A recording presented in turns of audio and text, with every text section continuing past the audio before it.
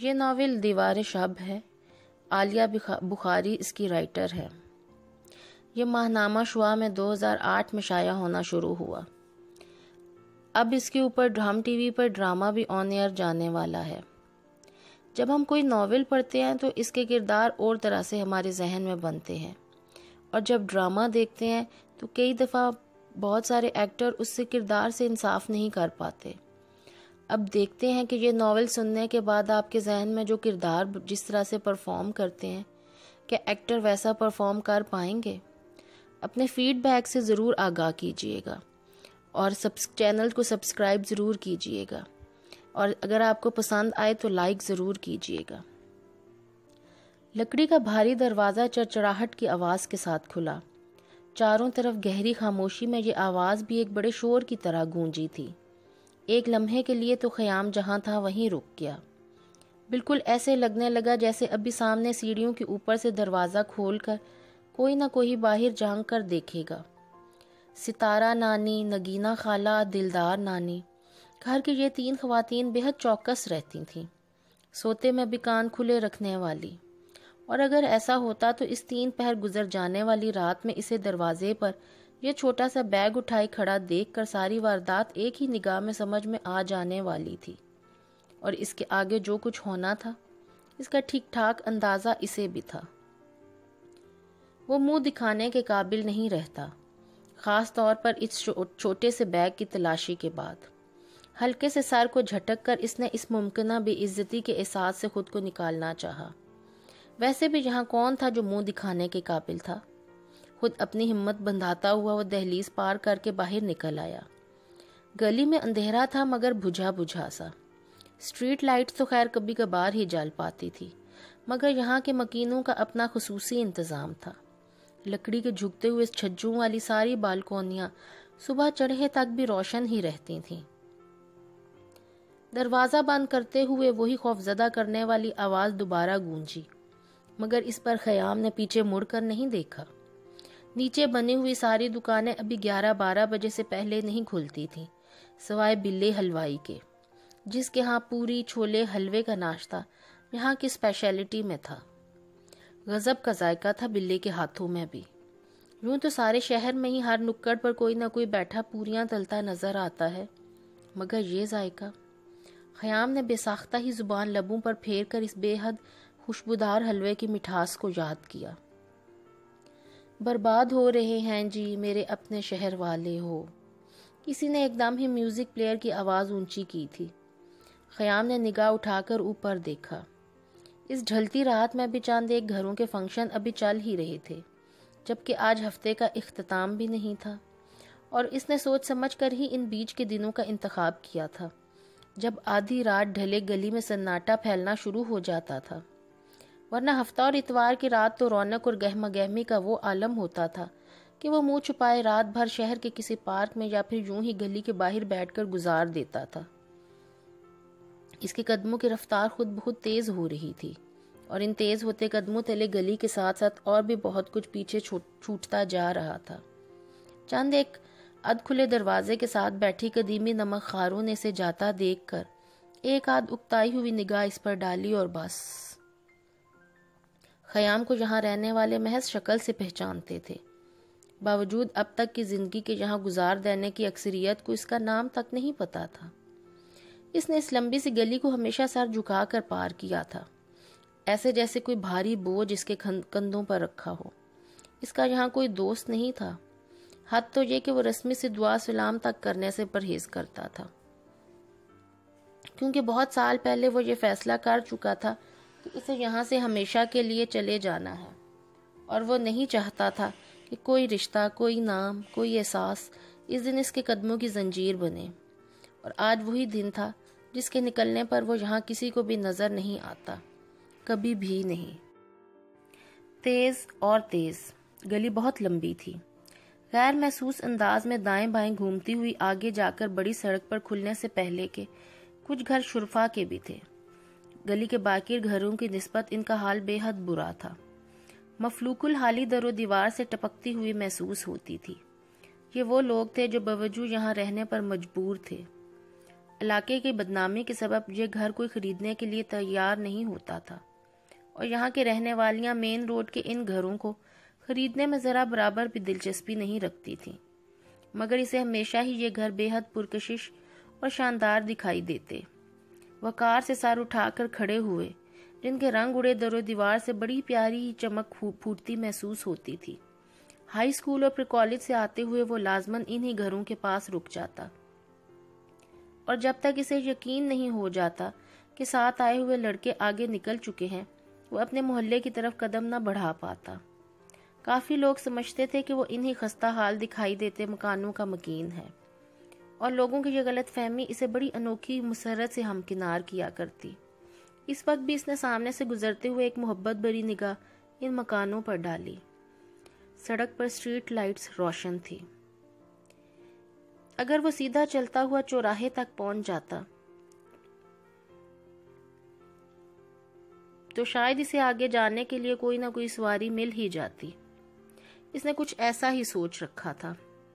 سڑک پر مڑتے ہوئے سے ایک بار بھی خیال نہیں آیا کہ وہ پیچھے موڑ کر اس گلی کو دیکھے جہاں وہ پیدا ہوا تھا اور جہاں اب تک کی اس کی ساری زندگی گزری تھی۔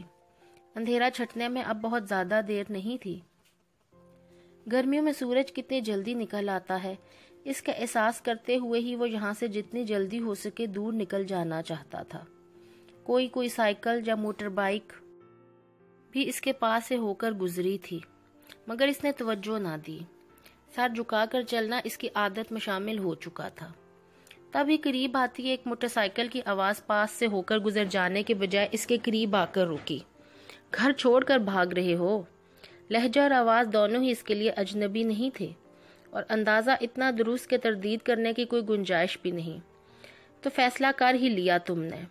میں تو پچھلے ایک سال سے منتظر تھا کہ تم کب یہاں سے اڑان بھرو گے، مگر اصل میں تم آدمی ہی وہ ہلکی سی مسکراہٹ کے ساتھ کہہ رہا تھا۔ خیام نے نگاہ اٹھا کر اس کی طرف دیکھا تو وہ ہلکے سے ہنس دیا۔ یوں چپکے سے چل دینے کا مطلب کم از کم خدا حافظ تو کہنا ہی چاہیے جانے سے پہلے۔ اس طرح وہ لوگ جاتے ہیں جنہیں واپس آنا ہوتا ہے کبھی نہ کبھی۔ اور میرے لیے واپسی کی کوئی بھی راہ نہیں ہے۔ میں تمہیں پہلے بھی بتا چکا ہوں۔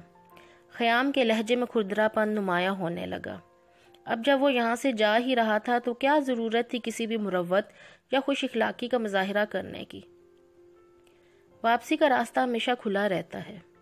چاہے ہم خود اپنے پیچھے دروازے بند کر کے جائیں، مگر وہ پھر کھل جاتا ہے۔ جنہیں ہم چھوڑ کر جاتے ہیں، وہی اسے کھلا رکھتے ہیں۔ ان کا انتظار کبھی ختم نہیں ہوتا۔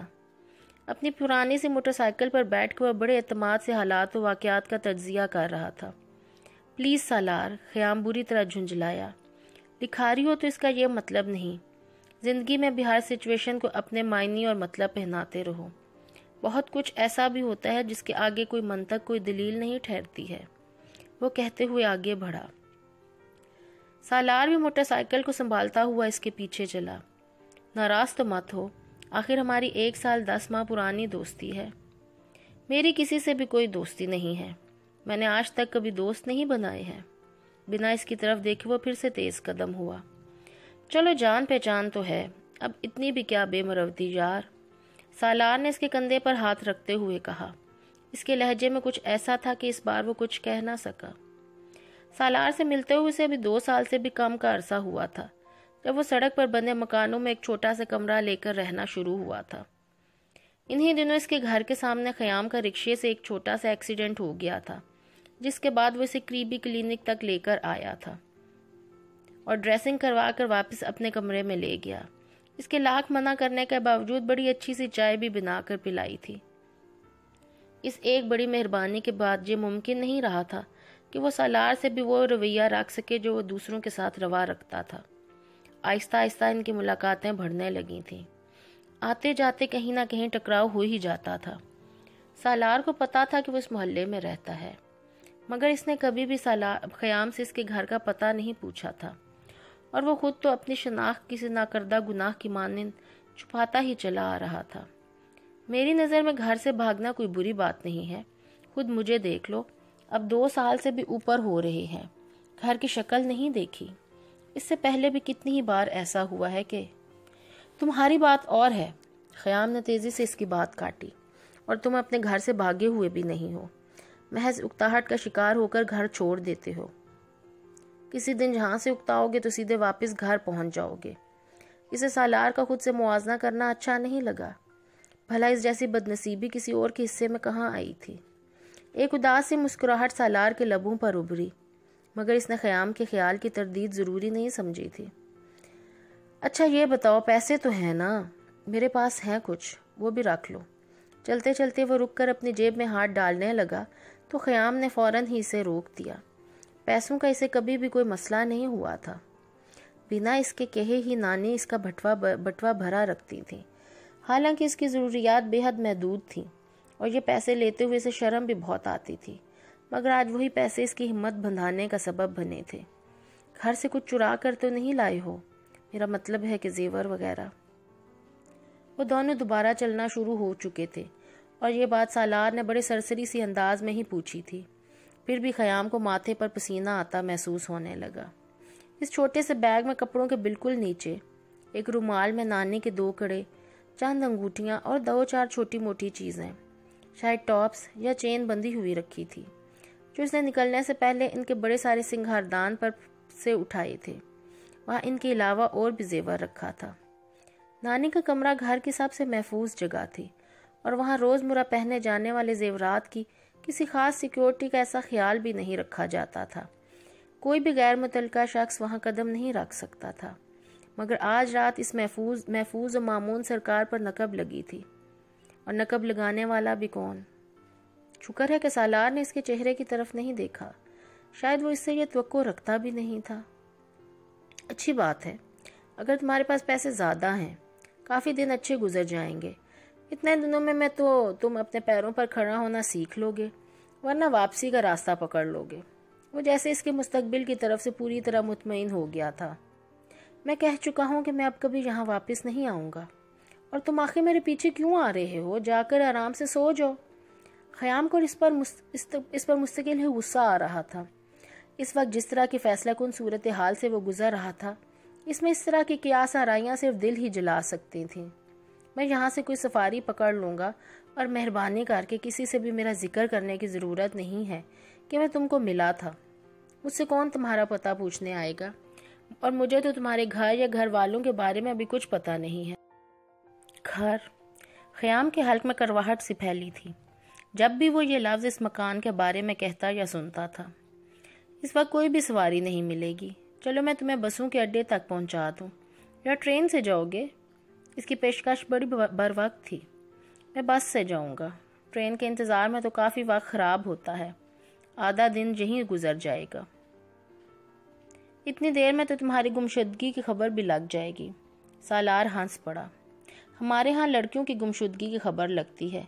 میرے پیچھے تو کوئی ایسی زحمت اٹھانے والا نہیں۔ بے ساختہ ہی اس کے منہ سے نکلا تھا۔ سالار چلتے چلتے یکدم رکا۔ وہ اسے اچھی طرح اندازہ تھا کہ خیام کا تعلق کس طبقے سے ہے، مگر یوں براہ راست اس نے کبھی اس کا اظہار نہیں کیا تھا۔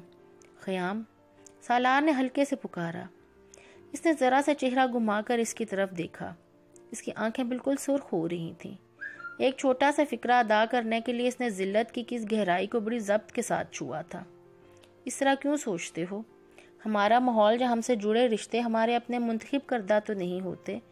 یہ تو قدرت ہمیں عطا کرتی ہے۔ ہماری اس دنیا میں آنے سے پہلے ہی یہ سب وہاں طے پا چکا ہوتا ہے۔ اس نے اشارے سے اوپر کی طرف اشارہ کیا۔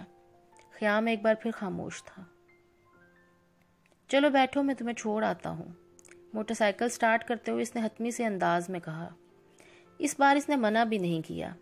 اپنا بیگ سنبھالتا ہوا اس کے پیچھے بیٹھ گیا۔ راستہ اچھا خاصا تھا اور خیام کو بخوبی اندازہ ہو رہا تھا کہ اس وقت کوئی بھی سواری ملنا بے حد مشکل تھی۔ سارا راستہ ان دونوں نے کوئی بات نہیں کی۔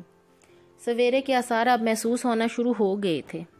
اور جب لو لوگ بس سٹینڈ پر پہنچے تو وہاں کی چھوٹی سی مسجد سے لوگ نماز فجر ادا کر کے نکل رہے تھے۔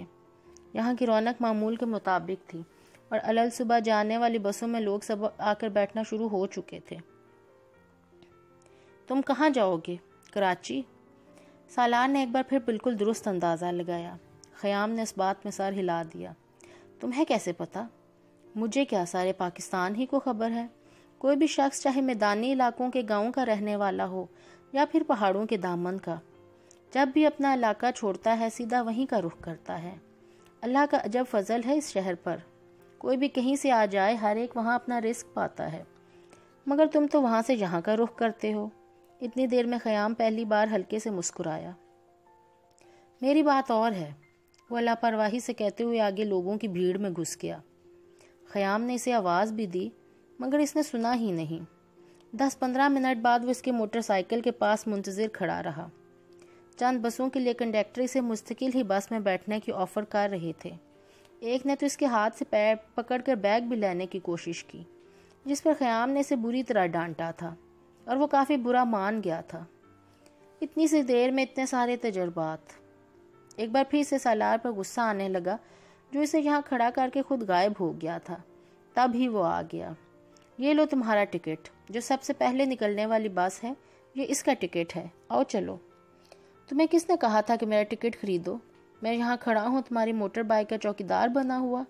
وہ بجائے شکر گزار ہونے کے اور بھی زیادہ برا مان گیا۔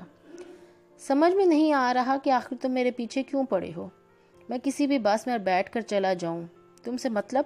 تم تو واپس جاؤ۔ سالار مسکرا کر انسنی کرتا ہوا آگے چلتا رہا۔ بس ڈرائیور اب ہارن دے رہا تھا۔ سالار کا تو سالار رکا تو خیام کو بھی رکنا پڑا۔ جاؤ، فی امان اللہ۔ جاؤ، فی امان اللہ۔ خیام کی طرف مڑتے ہوئے اس نے بازو پھیلائے تو وہ بولتے بولتے رک گیا۔ کب سوچا تھا کہ یوں چوروں کی طرح منہ چھپا کر شہر چھوڑ رہا ہوگا، تو کوئی اسے خدا حافظ کہنے کے لیے سامنے کھڑا ہوگا۔ سالار کی مہربان آنکھوں میں بڑی نرم سی جگمگاہٹ تھی، جو اس کی فطرت کی عکاس تھی۔ اپنی تمام تر رکھائی کے باوجود خیام اس کے آگے مزاحمت نہیں کر پاتا تھا۔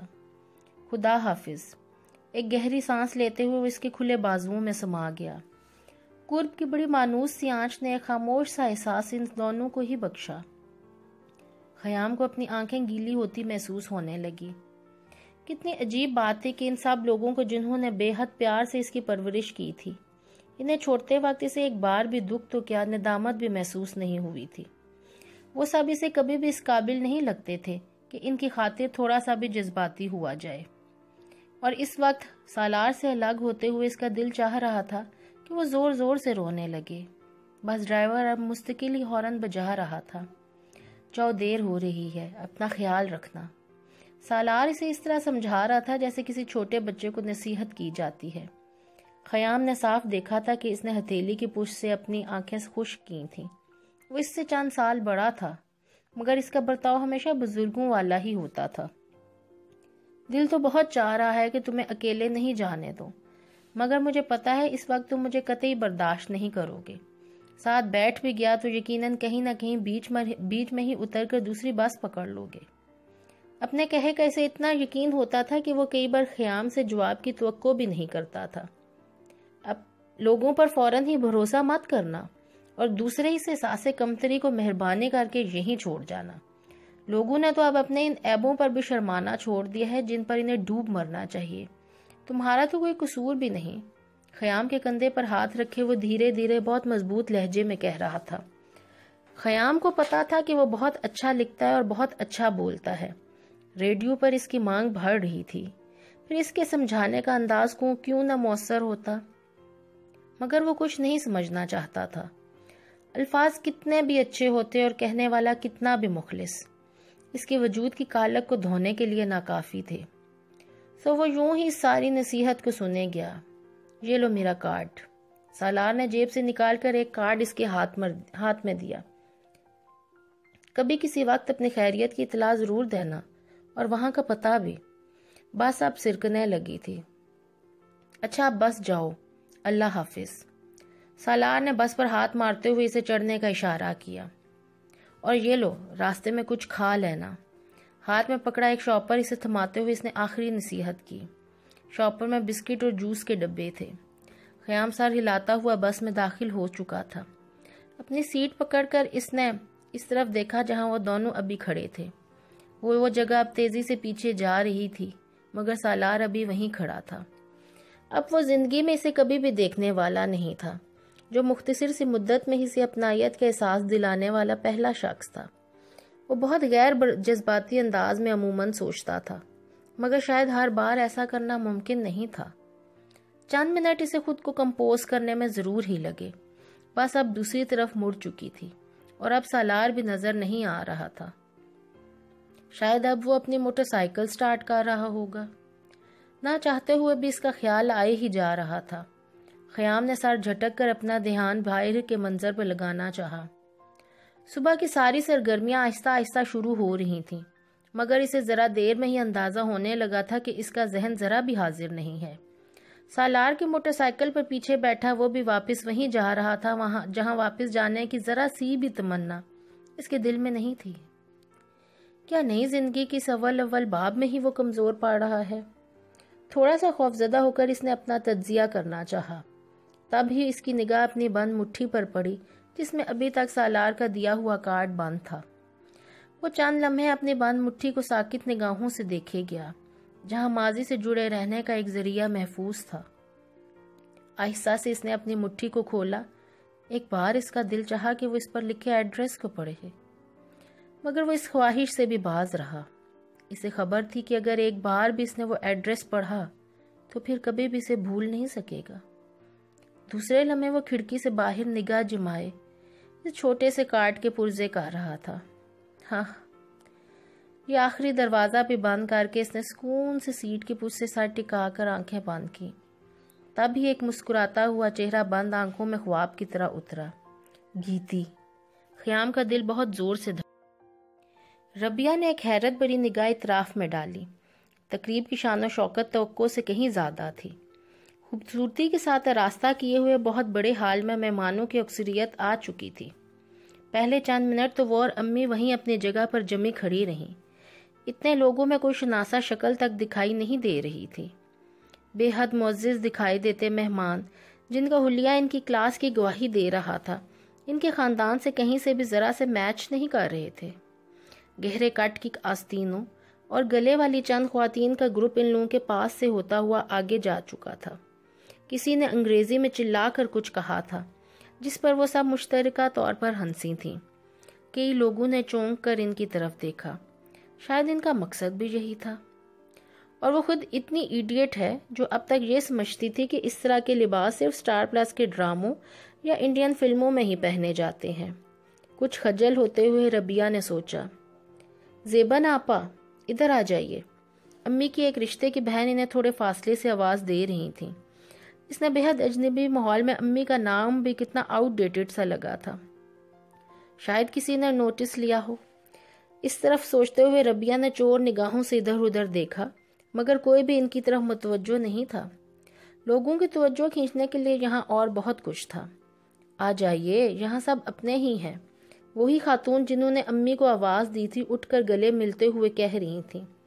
جدید طرز کے صوفوں اور کرسیوں کی ایک سیٹنگ میں خاندان کے صرف وہ خواتین اور لڑکیاں بیٹھی تھیں، جنہیں بلانا اظہار چچا کے خاندان کے لیے ناگزیر تھا۔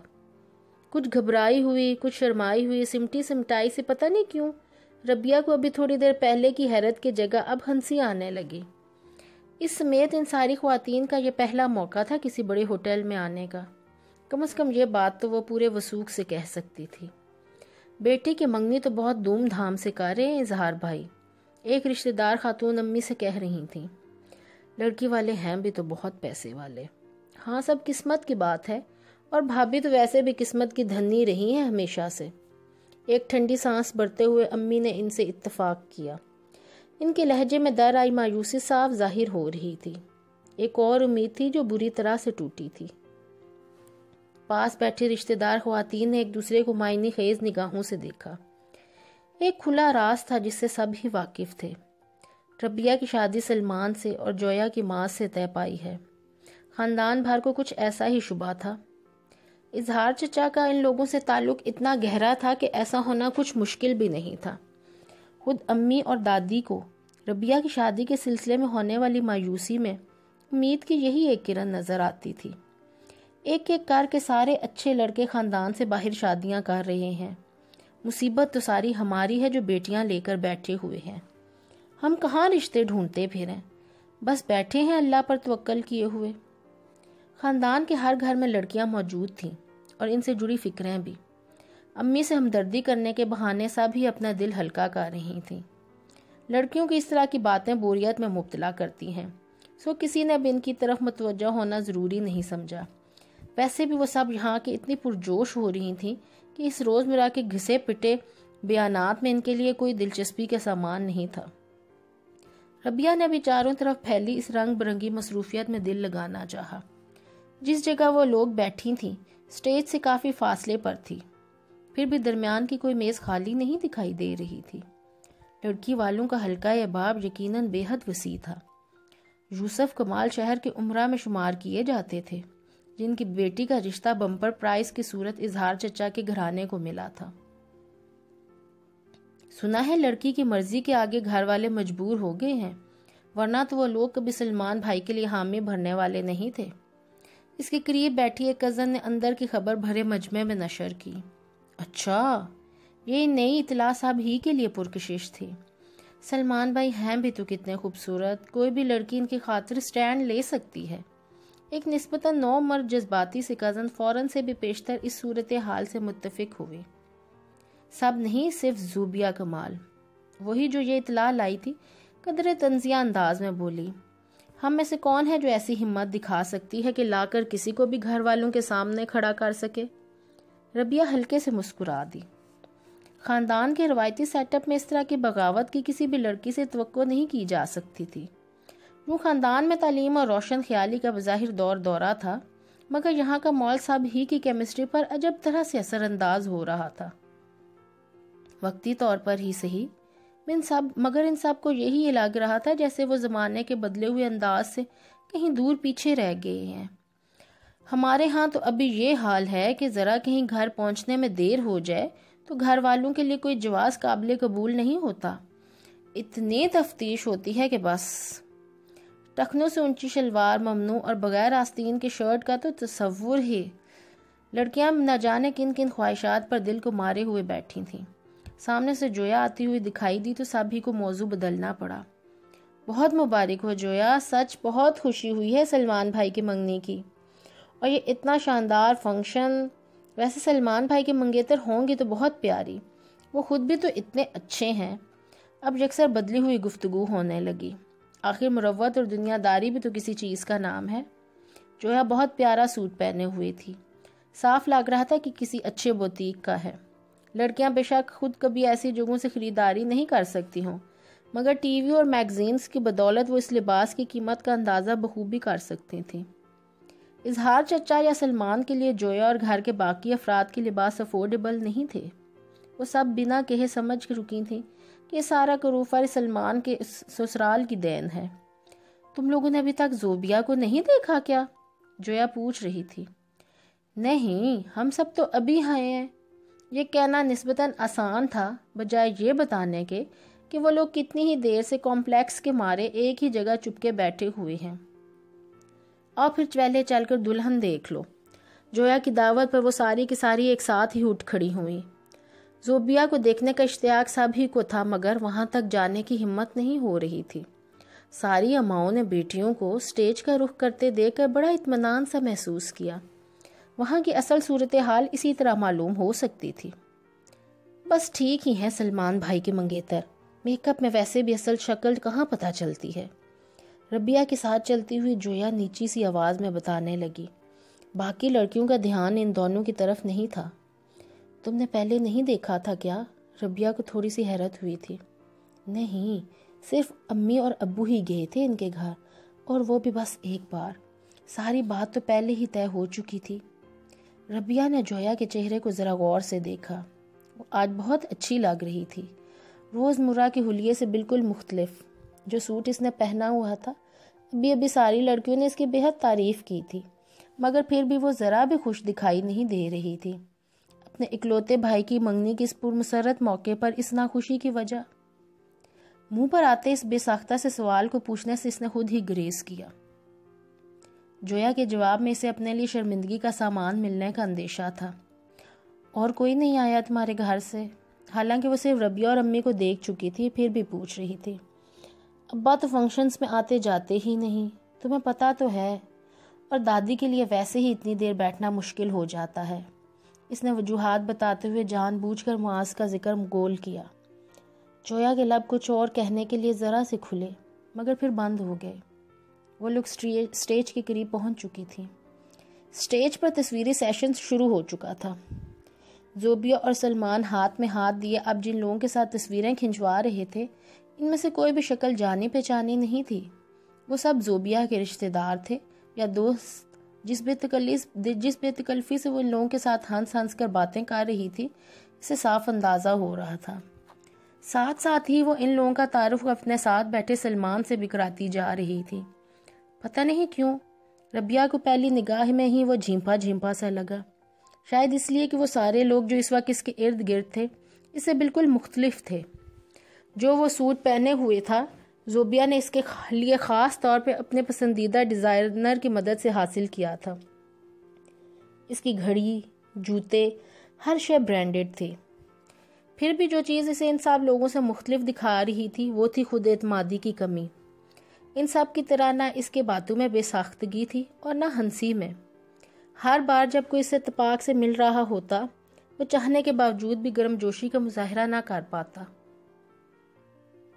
زیادہ تر زوبیا ہی بول رہی تھی۔ آج اسی کا دن تھا۔ خود کو نمایاں ترین رکھنے کے لیے اس نے جو کچھ بھی کوشش کی تھی، اس میں وہ کامیاب رہی تھی۔ اس کا سوٹ خوبصورت اور جیولری بے حد قیمتی تھی۔ جس بیوٹیشن کی وہ سروس حاصل کرتی تھی، وہ شہر کی ٹاپ بیوٹیشن تھی۔ پھر بھی اسٹیج کے قریب رہ کر۔ مزید ایک ساتھ کے لیے چینل کو سبسکرائب کریں اور بیل آئیکن پر ضرور کلک کریں۔ اس سے فیوچر ویڈیوز آپ کو ملیں گی۔ اور اگر آپ کو یہ کوشش اچھی لگے تو اس کو لائک ضرور کیجیے گا اور فیڈ بیک سے ضرور آگاہ کیجیے گا۔